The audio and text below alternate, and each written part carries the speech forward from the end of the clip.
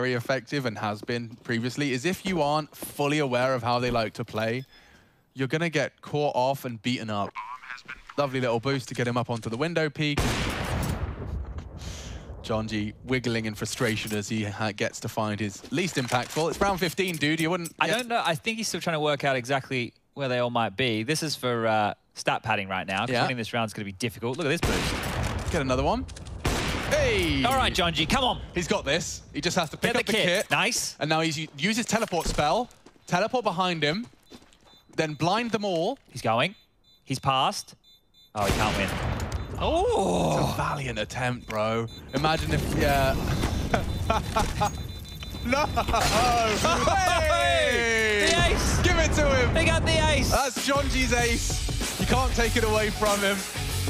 12 to 3, guys, will be RB.